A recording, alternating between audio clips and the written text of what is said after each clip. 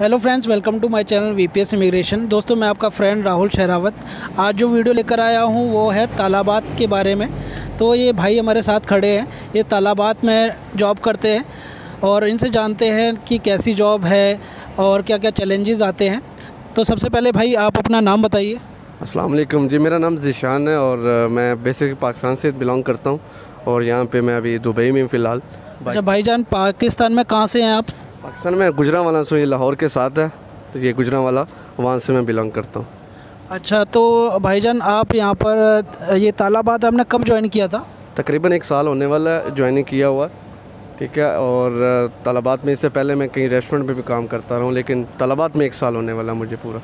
तो भाईजान तालाबाद में क्या आपका रहता है? कि हर एक राइड पे आपका कितना अर्न हो जाता है? अभी ये है कि हमारा जो तलबात में जो काम है ना ये कमीशन पे काम होता है।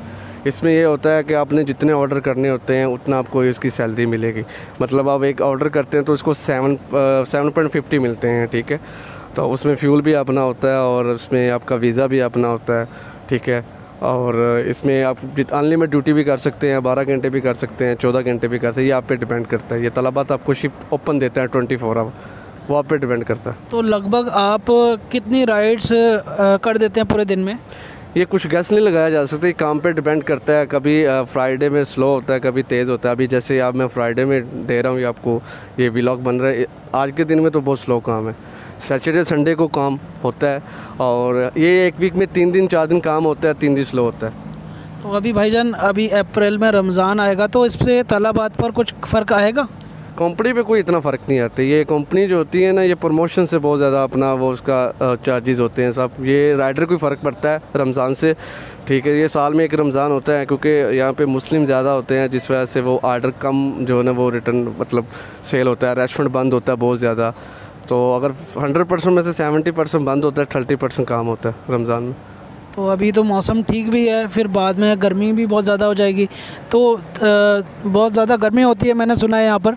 गर्मी बहुत ज़्यादा होती है और राइडर के लिए, समझिए, लेबर वाला हिसाब होता है गर्मी में, क्योंकि गर्मी में जो राइडर काम करता है, वो वही जान सकता है कंडीशन जिस तरह ये पाकिस्तान और इंडिया से ज़्यादा मेरे ख्याल से दुबई में गर्मी पड़ती है। 48 50 ये तो नॉर्मल है इसके लिए। 55 तक दे जाता है। तो बाइक पे काम करना बहुत मुश्किल होता है। जब ट्रैफ़िक सिग्नल में खड़े होते हैं या अदरवाइज़ कहीं रेस्टोरेंट पे ऑर्डर लेने के लिए वो बाहर वेट करने के लिए बोलते हैं। कस्टमर पे जाते हैं, वो बाहर वेट करने के लिए बोलते हैं। तो वहाँ पर वेट करने के लिए फिर गर्मी बहुत ज़्यादा होती है। भाईजान जो आते हैं यहाँ पर, कई बार धोखा भी खाते हैं कि जॉब्स वगैरह में यहाँ पर तो आपके साथ भी कुछ ऐसा धोखा हुआ यहाँ पर? नहीं, असल में मेरे साथ धोखा इसलिए नहीं हुआ, ये मेरा भाई थे जिसने वीज़ा निकलवाया और वहाँ से मैं यहाँ पे सीधा आया हूँ। एजेंट जो होते हैं, वो तो बेसिकली धोखा करते ही करते हैं। वो धोखा नहीं करेंगे तो उनकी आमदनी कहाँ से आएगी? वो धोखा करते हैं, कुछ होता है, यहाँ पे आके कुछ होता है, ये तो है। तो भाईजान ये बताइए, आपकी यहाँ पर कोई भी बंदा ज्वाइन करता है तो उसको क्या क्या फॉर्मेलिटी होती है तालाबाद को अगर ज्वाइन करना है तो? अभी कुछ चेंजिंग आई है आर टी जब से ये इन्वॉल्व हुई है तलाबात में कमीशन वाले काम से तो चेंजिंग आई है। पहले ये होता था आपका अपना फ्रीलांसर वीज़ा हो और उसके बाद लाइसेंस हो तो आपकी जॉब फौरी तौर पे ज्वाइनिंग हो जाती अभी आरटीए की तरफ़ से कुछ चेंजिंग आई है, क्योंकि राइडर के एक्सीडेंट बहुत ज़्यादा हुए हैं, जिस वजह से बंदे की डेथें हुई हैं। अभी आरटीए ने चेंजिंग की है। अभी आपका ये सिस्टम है आपका वीज़ा सेम होना चाहिए राइडर का, और वो आपको लेना भी कॉन्ट्रैक्टर से लेना पड़ता है। तलाबात के एक आगे कॉन्ट्रैक्टर होते हैं। वो लेना उनसे पड़ता है उसके बाद आप लाइसेंस लें तब आप ज्वाइनिंग कर सकते हैं तलाबात में। तो भाईजान आपका कितना चार्ज आ गया जब आपने तालाबाद ज्वाइन किया? मैं तलाबात ज्वाइन तो अभी एक साल से किया जब मैंने लाइसेंस लिया वीज़ा लिया तो मेरा मैं 2018 में आया था। ठीक है मैंने वीज़ा लिया दस हज़ार का फिर लाइसेंस लिया छः हज़ार फिक्स पे लाइसेंस मिलता है। टोटल मेरा सोलह हज़ार दिरम लगा तो, तो पाकिस्तान तकरीबन बनता है आठ लाख। तो ये आपका जो लाइसेंस बना था उसमें आपने कितने ट्रायल में पास हो गए थे? मैं तो किस्मत वाला था कि फाइनल ट्राई फेल हुआ अदरवाइज़ लड़के तो पाँच पाँच ट्राई फेल होते हैं। ये आपका लक क्या किस्मत है जो लाइसेंस लेते हैं? वो पहली ट्राई में भी पास होते हैं कोई पाँच में होते हैं कोई टेन में होते हैं ये हर बंदे की किस्मत है। अच्छा भाई जान यहाँ पर जो काम कर रहे हैं तो वो कितना मतलब कि तालाबाद के अंदर कितना रफली बन जाता है आपको? ये आमदनी ये कमीशन है आप किसी के तीन हज़ार निकलते थे किसी के तीन हज़ार पाँच सौ निकलता है। ठीक है, ये आप पे डिपेंड करता है। अच्छा भाईजान जान जैसे कि जो इंडिया से पाकिस्तान से बांग्लादेश से आ रहे हैं तो आप उनको क्या रिकमेंड करेंगे कि यहाँ पर आके उनको ईज़िली जॉब मिल जाए? अभी जो फ़िलहाल जो सिचुएशन चल रही है, काम की जिस तरह हालात हैं, मैं तो यही कहूँगा, जो बंदा जो जिस चीज़ का वीज़ा लेता है, वो पहले यहाँ से कंफर्म कराए। आपके पास एक लेबर कॉपी आती है, उस पर सारी डिटेल लिखी होती है, आप किस चीज़ पे काम करने जा रहे हैं और आप किस चीज़ पे काम करेंगे। अभी फ़िलहाल जॉबें ओपन हुई हैं पैकिंग हुई है और उसमें रेस्टोरेंट पर काफ़ी लोग वेटर की ज़रूरत पड़ती है। ठीक है राइडर काफ़ी ज़्यादा आ रहे हैं यहाँ पर अगर कोई इतना अफोर्ड कर सकता है आठ लाख पाकिस्तान या इंडिया तकरीबन में छः लाख बनेगा मैक्सिमम हाँ हाँ राइट तो ये इतना अफोर्ड कर सकता है तो वो राइडर पे आ जाए। नहीं कर सकता तो फिर किसी जॉब पे ये पैकिंग वाला ये किसी ये लेबर आपको पेपर आता है जब इंडिया और पाकिस्तान में आपको एक पेपर आता है सिग्नेचर के लिए। उस पर आपकी सारी डिटेल लिखी है वो आपको फॉलो करे।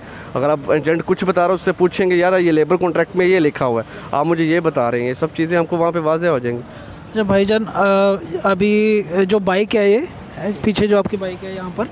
तो ये अभी कंपनी की तरफ़ से है बाइक या फिर ये कंपनी पे करती है। कंपनी बाइक देती है फ्यूल अपना होता है सिम कंपनी देती है और ये यूनिफॉर्म जो है वो तलबात पे करती है और जब आप छोड़ेंगे इसको रिटर्न करना होता है।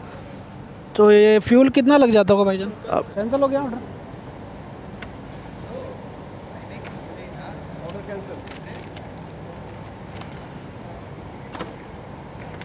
ऑर्डर ही चाहिए तो भाईजान इसमें पेट्रोल कितना लग जाता है? पेट्रोल लग जाता है। अभी तो पेट्रोल की कीमत काफ़ी ज़्यादा बढ़ी है। पेट्रोल बीस दिन का लग सकता है पच्चीस का लग सकता है। अच्छा मतलब कि कंपनी की तरफ़ से आपको बाइक दी गई है।